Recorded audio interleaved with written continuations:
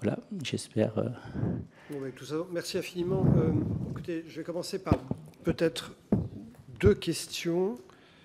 Euh, la, première raison de la création de la, commi- la commission d'enquête, c'est l'augmentation de la dette depuis 2017. Donc, nous avons une discussion avec la personne qui vous a précédé, qui a estimé que le, point, le point qui a, qui a le point de bascule, ça a été le mouvement des Gilets jaunes euh, avec deux parties, en fait. Dans une première partie euh, vertueuse, on peut le dire comme ça, une deuxième partie où euh, il y a eu autre chose qui s'est passé. Donc, j'aimerais avoir votre analyse sur la, la cinétique, et sur les causes éventuellement extérieures ou sur les décisions qui ont pu être prises. Et la deuxième raison, et la deuxième question, et je reviens sur votre. sur quelques travaux d'ailleurs que vous avez publiés. Est-ce que la dette crée de la croissance est-ce que la dette crée toujours de la croissance, quel que soit son niveau? Je fais référence à des travaux que vous avez publiés. Euh, le rapporteur a dit tout à l'heure, est-ce qu'il y a de la bonne et de la mauvaise dette? Ce qui revient un peu à ça, mais pas, totalement. Euh, est-ce que quoi qu'il en coûte, vous avez eu par exemple la possibilité de l'analyser sur est-ce qu'il a été finalement euh, tout compris bénéfique ou pas? Est-ce qu'on a des éléments qui permettent de le dire? Par exemple, par comparaison internationale. Alors là, je partagerai l'analyse, je regardais mon graphique sur l'effet des mouvements sociaux, et je pense que ce n'est pas fini, sur la dynamique de la dépense, euh, dans une situation où il y a une sorte d'incapacité à augmenter les impôts. Donc une des, définitions de l'insoutenabilité de la dette, c'est quand un gouvernement ne peut agir ni sur la dépense, parce que politiquement c'est impossible, ni sur l'impôt. Prenez un impôt de 100%, bah, vous ne pourriez pas agir sur l'impôt.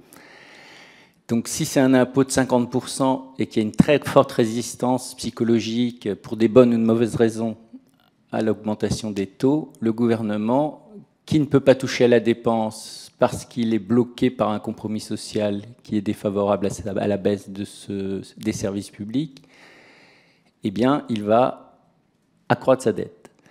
Le mouvement des Gilets jaunes euh, se place probablement dans ce cadre et il rappelle que ceux qui sont sans voix, en général, utilisent la violence contre l'État.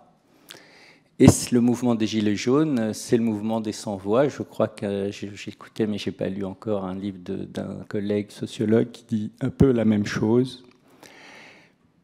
Alors, ça, c'est le premier point. Donc, je partage mais c'est une légère augmentation. Ensuite, euh, j'ai regardé, puisque depuis 1974, vous le savez, euh, les déficits sont chroniques. Ce qui caractérise notre période, c'est pas tellement la tendance à la hausse de la dette, c'est le fait que c'est la gestion post-crise, parce que toutes les crises génèrent des dettes. Donc c'est vrai en 93, c'est vrai en 2008, encore plus, et c'est vrai en 2020. Évidemment, euh, les crises économiques n'ont pas la même nature que, euh, la crise sanitaire, Euh, mais les gouvernements, dans les trois situations, ont réagi pareil, sauf qu'ils n'ont pas forcément réagi pareil en post-crise. Donc si ça vous intéresse, euh, j'ai un graphique que j'ai construit et qui, qui montre cet effet. C'est-à-dire vous avez une croissance de la dette à chaque crise, une baisse en période de stabilisation de la croissance, une baisse en période de retour à la normale après une épidémie, mais cette baisse est toujours moins importante. C'est-à-dire le taux de baisse, on, baisse en milliards d'euros, mais c'est moins important. Alors là, c'est l'indicateur, il est tout simple, c'est l'écart entre le montant en milliards d'euros de l'année 2017 et l'année 2018, l'année 2018-2019. Et en fait, on voit que ça baisse après 2020, mais ça baisse beaucoup moins que ça n'a baissé, par exemple, après la crise de 2008. Et comme on est déjà à un niveau très élevé, eh bien, ça va entretenir le. euh, alors, bon, on y reviendra peut-être, puisqu'il n'y a pas effet, de- mais je, je pense que c'est important d'expliquer pourquoi. Il n'y a pas d'effet boule de neige, donc il n'y a pas d'effet d'entretien de la dette par la dette, mais euh, le niveau de la dette reste très élevé. Alors, euh, une des explications possibles, c'est dans cette littérature sur l'incapacité d'un gouvernement à baisser la dépense, puisqu'il ne peut pas toucher à l'impôt. Et je verrai deux pistes, trois, enfin il y en a, beaucoup, mais pour la France, ce que une partie des économistes appellent un risque de gérontocratie. C'est-à-dire quand vous avez une très forte demande de dépenses sociales, de dépenses de santé, de dépenses de retraite, euh, les gouvernements doivent répondre à ces dépenses, à ces demandes. Et quand vous regardez la période 2017-2023 sur les, données qu'on a de l'INSEE, c'est vraiment ces postes-là, les dépenses de santé, évidemment par la crise Covid, qui augmentent. Donc, euh, quand un groupe le corps électoral est constitué de personnes vieillissantes qui vont demander des dépenses qui leur sont favorables. Et en plus, et c'est ce que dit un économiste très réputé, et en plus, euh, comme ils, veulent pas, ils veulent de la dépense sans l'impôt, bah, c'est très facile de déplacer la charge de la dépense dans le futur. Donc ça, ce serait un premier point. C'est ce côté, c'est toujours très intéressant d'étudier la dette sur le côté euh, incapacité, enfin demande sociale de dette en fait. L'autre point, bah, c'est les marchés financiers. On, constate que quand les, marchés financiers, ceux qui vont profiter euh, de ces politiques monétaires euh, favorables, accommodantes, les premiers, c'est les marchés financiers. Donc ça booste les inégalités, parce que c'est eux qui prennent le crédit en premier. Et donc il y a une demande, et Benjamin Constant, depuis le 19e siècle, l'a montré, il y a une demande des prêteurs en faveur d'une dette parce que eux, ils récupèrent la rente et les contribuables paient la dette. Donc c'est tout bénéfice. Alors c'est moindre, puisque les taux ont beaucoup baissé, on y reviendra peut-être, que l'Union européenne, la zone euro, en fait, nous protège, et peut-être mon collègue vous l'a dit, et ça nous permet, nous, la France en particulier, d'être un peu clandestins. Parce que normalement, euh, quand la dette augmente, euh, le pays voit euh, son taux de change baisser. Quand son taux de change baisse, bah, il y a un risque inflationniste et ça peut faire le Liban 2019 ou l'Argentine. Donc souvent les crises de dette se finissent en crise d'hyperinflation et nous on est protégés par la zone euro, mais on est protégés parce qu'on a des pays vertueux, des pays qui respectent leurs paroles et j'aurais pu commencer par là. Je pense que s'il y a une discussion dans cette enceinte sur euh, l'excès de dette, bah, légalement, oui, nous sommes en excès de dette. Après, économiquement, effectivement, c'est ce dont on parle. Euh, on est peut-être en excès de dette parce qu'on ne peut pas agir sur les deux leviers que sont l'impôt d'un côté et la dépense. Alors il y a un troisième point qui me paraît important, c'est ce qu'on appelle la théorie des gouvernements faibles. Euh, dans les années 90, on a observé que les gouvernements qui étaient fragmentés, qui avaient une très faible majorité, euh, étaient des gouvernements qui avaient très rarement la, possibilité de réduire les dépenses, donc de s'engager dans des politiques d'assainissement. Alors vous êtes mieux placé que moi pour savoir que le gouvernement actuel n'a pas de majorité claire, et donc il est dans cette situation des weak government, donc des gouvernements qui ne peuvent pas engager des grandes réformes et agir sur ce mécanisme euh, de baisse de la dépense. Alors il y a deux canaux. Le premier, c'est quand vous avez un gouvernement faible, les électeurs peuvent difficilement voir la responsabilité du gouvernement. Donc on ne sait pas trop qui, parce que le gouvernement peut toujours reporter la responsabilité sur le fait qu'il n'a pas de majorité, que l'opposition ne fait pas son travail, etc. Et l'autre point, c'est le, fait que c'est difficile de baisser les dépenses quand vous avez euh, beaucoup de droits de veto, enfin beaucoup de députés qui ont la possibilité de négocier euh, des programmes qui sont favorables à leur circonscription ou à leur idéologie ou à toutes sortes de choses puisque leur voix, en fait, est, compte beaucoup pour le gouvernement. Et donc, euh, j'ai l'impression que cette période de 2022-2023, alors je n'ai pas de chiffres 2024, vous devez les avoir, euh, mais sur l'INSEE, ça s'arrête en 2023, mais j'ai vraiment hâte de voir comment ça se passe pour pouvoir euh, confirmer cette idée qui est dans la littérature et qui a été, elle, observée, mais pour d'autres situations, d'autres pays. Alors j'espère avoir répondu. Merci beaucoup. Je vais passer la parole, monsieur le rapporteur. Je compte sur vous pour que vous nous adressiez le fameux graphique là, que vous aviez sous les yeux qui nous intéresse. Et puis peut-être euh, un peu de littérature sur la théorie des gouvernements faibles.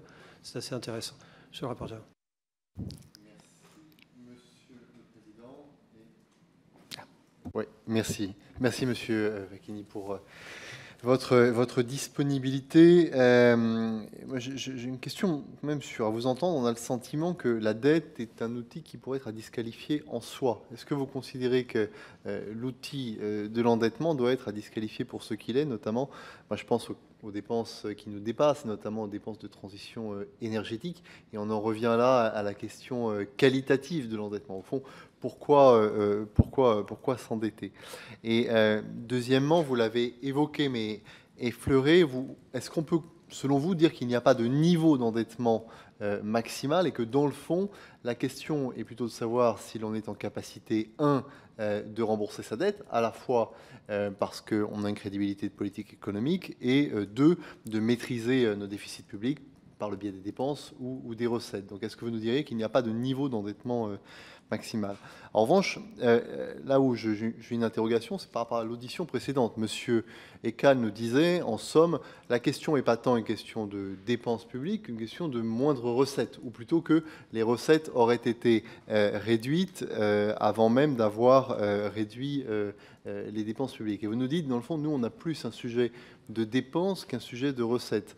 Est-ce à dire que notre politique économique pêche par la question de ces dépenses plutôt que par la question de ces recettes, qui serait euh, différente de ce que nous, nous venons, euh, nous venons d'entendre. Euh, moi, j'ai des questions sur les comparaisons européennes. Est-ce que vous disposez d'éléments de comparaison européenne sur la réponse aux chocs externes qui ont été apportés, soit en matière sanitaire, soit en matière énergétique et je m'interroge également sur, et c'est aussi l'objet de notre commission d'enquête, l'impact des mesures discrétionnaires euh, de ce, de quinquennat en dehors de toute forme euh, d'héritage. Parce que ce qu'on a vu dans la précédente audition, c'est que dans le fond, le déficit public était euh, moins élevé que chez nos partenaires européens, à tout le moins en début de, période entre 2017 et 2020, mais pour autant, partant d'un niveau d'endettement beaucoup plus élevé, c'est ce niveau d'endettement-là qui a créé une dette publique qu'il incombe de rembourser ces dernières années. Est-ce que vous partagez cette analyse? Je vais faire les choses un peu dans le désordre, mais commencer pour garder une certaine cohérence euh, par rapport aux questions précédentes. Sur, euh, alors j'avais de mémoire euh, la question des causes de la dette. Est-ce que c'est la dépense ou la recette ou les recettes? Alors c'est un débat traditionnel. Hein. Euh, alors là encore, je pourrais vous mettre à disposition quelques graphiques. Euh, moi, il me semble que la dette française est soutenable sur un critère de soutenabilité, mais elle est insoutenable sur au moins trois autres. Telle que la théorie économique, enfin, que je connais, et peut-être que mon collègue en connaît d'autres, euh, le premier critère de soutenabilité, ce qu'on appelle le critère de soutenabilité forte, c'est quand la charge d'intérêt de la dette publique, en fait, euh, couvre le solde primaire. Donc le solde primaire, c'est dépenses moins charge d'intérêt euh, et recettes. Et si vous faites le calcul, donc là encore, je mets à disposition un, graphique, bah, vous voyez que cette soutenabilité forte, alors c'est pas nouveau, hein, puisque la soutenabilité forte, elle disparaît en France en 81. Euh, là aussi, la, théorie économique dit qu'il y a un biais partisan, hein, globalement. Et si vous lisez Jean-Noël il, écrit ça aussi. Hein, les, gouvernements de gauche, en général, sont, plus favorables à la dette que les autres. Donc 80 n'est pas une date. Ensuite, il y a la question comment les gouvernements de droite, qui sont plus généralement avec un corps électoral plus sensible aux questions de dette, réagissent à la dette des, gouvernements passés. Donc ça, c'est un autre point. Alors pour vous répondre, donc ça, c'est le premier critère. Et là, euh, la soutenabilité forte, c'est-à-dire que le, solde primaire est de plus en plus important, il est déficitaire, et la charge d'intérêt, et c'est vrai pour 2023, c'est 50 milliards d'euros, vous le savez mieux que moi. Et donc il y a un écart qui s'est creusé, et donc, si on, s'en tient à ce critère, qui est dans la, la littérature, c'est pas soutenable. C'est-à-dire, si on continue comme ça, c'est pas soutenable. Après, il y a un critère de soutenabilité faible, qui est tout simplement la différence entre les recettes et les dépenses, donc recettes fiscales et non fiscales. bah, Là encore, alors c'est un peu moindre, parce qu'on, mais ça s'écarte. En revanche, il y a un troisième critère, c'est peut-être celui-là qu'utilisait, c'est la fameuse boule, euh, l'effet boule de neige. Euh, donc là aussi, je peux vous mettre à disposition des statistiques de la Commission européenne. C'est vrai que la politique monétaire permet au gouvernement de s'endetter à bas prix et qu'il n'y a pas d'entretien de la dette par la hausse des taux. Mais de fait, ça ne relève pas de la responsabilité des gouvernements français, ça relève de la responsabilité de l'Union européenne. Donc c'est une protection que nous avons. Et là, vous avez deux stratégies. Je peux aussi vous montrer les, graphiques sur l'Allemagne et la France. Et ça m'a beaucoup frappé parce que l'Allemagne profite de cette baisse des taux, mais ce n'est pas propre à 2017-2023 profite de cette baisse des taux pour se désendetter. La France euh, utilise cette baisse des taux pour augmenter sa dépense. Donc vous n'avez pas d'effet boule de neige, mais vous avez un effet d'opportunisme. Et ça peut expliquer, alors après on viendra sur votre question, est-ce que c'est souhaitable ou pas d'un point de vue économique, mais c'est quand même un phénomène. Et, la quatrième soutenabilité, c'est celle euh, dont je vous parlais tout à l'heure, c'est l'impossibilité d'augmenter les impôts. Alors ça, on peut faire une réforme de la structure des impôts sans toucher au taux. C'est possible. Il y a beaucoup de pays qui l'ont fait. Et puis la question de la dépense. Est-ce qu'on touche à la dépense? Alors, et donc ça vient à votre deuxième point. Est-ce que euh, c'est une crise de la dépense ou une crise de l'impôt? Alors, un, il faut rappeler que donc, quand vous étudiez cet effet boule de neige, vous avez taux d'intérêt moins taux de croissance. C'est ça qui fait le calcul. Il faut que le taux d'intérêt nominal soit supérieur au taux de croissance, euh, inférieur au taux de croissance. Le taux de croissance, il va être, euh, il n'est pas exogène. enfin, en France, nous sommes une économie ouverte. Donc si vous faites une corrélation simple entre croissance française et croissance mondiale, ça marche à 100%. C'est-à-dire notre taux de croissance, il est très dépendant de l'étranger. La croissance mondiale détermine notre taux de croissance. Mais on peut quand même avoir des leviers internes. Et la finance publique a trois leviers, la dette, la, recette, la dépense. Et là, il est évident qu'il y a un, débat à l'intérieur de la profession des économistes sur le rôle que peut jouer la dépense, sachant qu'on est tous d'accord pour dire que l'impôt est un frein. Que vous soyez keynésien, classique, nouveau classique, euh, je ne sais pas quoi, tout le monde dit l'impôt est un frein. Parce qu'il crée des effets d'inactivité. Il a un coût de perception élevé. Donc on calcule en gros, euh, il y a une équipe de Montpellier, ils disent pour un euro prélevé, c'est 1,20 euro, 1,30 euro que la société supporte. Donc ça veut dire que ça c'est un calcul moyen et il est, très différent. Là encore, je peux mettre, euh, c'est une, étude de 2013 euh, financée par euh, le ministère des Finances, je crois. donc voilà. Et, donc après, ça dépend des types d'impôts. Il y a des impôts qui sont beaucoup plus coûteux en termes de croissance que d'autres. Après vient la question de la dépense, et ça nous permettra d'aller à cette euh, cette, question. Est-ce que vraiment il y a on peut observer un, niveau de dette au-delà duquel la croissance euh, baisse? Sachant que, je vous l'ai dit, pour nous, c'est difficile parce qu'on peut avoir une observation statistique, mais pas connaître exactement euh, dans quel sens ça joue. Mais, donc, un, il faut bien avoir conscience que la dépense aussi a des effets d'inactivité. Donc, vous le savez, la dépense a un effet d'entraînement. Mais la dépense a un effet d'inactivité, et cet effet d'inactivité est d'autant plus grand, et vous avez raison, que la dépense est dite improductive, donc c'est une dépense de transfert. Si vous regardez l'évolution des, dépenses en France, euh, ce sont plutôt les transferts sociaux, les prestations qui ont augmenté et pas les dépenses en capital, pas les dépenses en investissement. J'étais même surpris en regardant récemment les données que mon propre ministère, l'enseignement supérieur, n'a pas été tellement bien servi euh, dans les années 2010 jusqu'à aujourd'hui. Donc ces dépenses dites d'éducation, si vous regardez d'autres pays, elles ont augmenté beaucoup plus. Donc, la France elle a une structure des dépenses qui n'est pas favorable à la croissance. C'est-à-dire que ce n'est pas que la dépense est toujours mauvaise pour la croissance, c'est que sa structure des dépenses, et je pense que c'est lié à son équilibre politique, sa structure des dépenses n'est pas favorable à la croissance.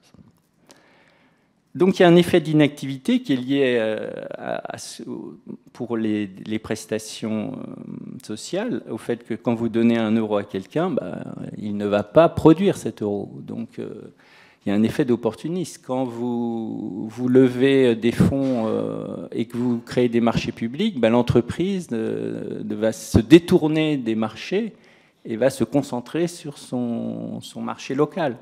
Donc vous avez des tas d'effets. Il y a des effets d'éviction, euh, ce qu'on appelle les banques paresseuses, c'est-à-dire que les banques vont commencer à uniquement euh, euh, ben, financer une partie de leurs fonds propres par des titres publics et, donc elles ne vont pas s'interroger à sélectionner correctement les projets entrepreneuriaux. Donc il y a de multiples effets qui ne sont pas forcément perçus comme ça. Vous savez ce qu'on dit depuis le 19e siècle, hein, un bon économiste, c'est celui qui voit ce que les autres ne voient pas. Donc on voit tout de suite l'effet de la dépense. Vous allez me dire, ah oui, mais il y a un euro public, ça a construit une école. Mais il y a aussi cet euro public emprunté, il a détourné l'attention des, acteurs d'autres opportunités. Et c'est cet effet-là qui va générer les effets négatifs de la dépense et de la dette sur notre activité. Sachant que je vous ai dit, euh, il n'y a pas, on ne nie pas, il n'y a pas d'effet d'entraînement. Mais à un moment donné, l'effet d'entraînement devient plus faible que l'effet récessif. Et c'est ça qu'on cherche quand on cherche la non-linéarité. Alors, d'après moi, et j'ai lu quand même beaucoup, beaucoup d'articles, je pense que c'est autour de 75%. Que ce... Mais alors, c'est général pour tous les pays. 75% du PIB. Du PIB, pour le ratio dette publique sur PIB. Et on a aussi un effet non linéaire de la dépense. Il est beaucoup plus faible, mais bon, là, on rentre dans le détail. Euh, et ça dépend un peu de votre période d'observation, parce que si vous observez sur 200 ans, bah, vu qu'en début de période, vous avez très peu d'impôts, très peu de dépenses, très peu de dettes, bah, ça va plomber votre niveau euh, au-delà duquel votre point euh, se renverse. Donc moi, je ne serais pas forcément en accord avec mon collègue s'il vous a dit que la dette euh, était uniquement porté par l'impôt, par une baisse des impôts, d'autant que on sait qu'un gouvernement a deux stratégies, on l'a dit la recette et la dépense, et on sait que euh, avoir une stratégie uniquement fondée sur la dépense est beaucoup plus dangereuse qu'avoir une stratégie qui consiste à soit augmenter les impôts, soit baisser les dépenses, puisque la croissance elle est très dépendante de la croissance mondiale. Donc vous prenez un risque.